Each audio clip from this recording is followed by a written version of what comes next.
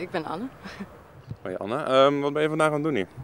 Eh, ik ben bomen aan het zagen voor eh, een tafel. En eh, ik zie dat je dat met een eh, kettingzaag doet. Waarom met een kettingzaag? Eh, ja, met de hand gaat eh, heel langzaam. Ook niet eh, echt nauwkeurig of zo, denk ik. en ik kan het, dus het is makkelijker. En sinds wanneer doe je dit dan met een kettingzaag? Eh, Zo'n drie maanden, denk ik. Bij Staatsbosbeheer heb ik het geleerd. Ja, ik vind het gewoon stoer. Ja, dat Ja. mooi geluid, eh, power. Ja. Heb je wel vaker meubels gemaakt met kettingzaag? Nee, nog nooit. Nee, Dus je eerste keer. met de kettingzaag. Ja, veel succes dan. Dankjewel.